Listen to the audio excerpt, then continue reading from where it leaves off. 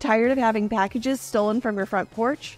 Your LiftMaster 84505 might be just the fix. Amazon and LiftMaster have partnered up to make safe in garage delivery possible with Amazon Key. So, how does this optional feature work? During Amazon checkout, select the date you want with Key Delivery. Once your package arrives, your background check driver scans your package to get one time access to your garage. The door opens, your package will be placed right inside your garage, the door closes, and your driver loses access.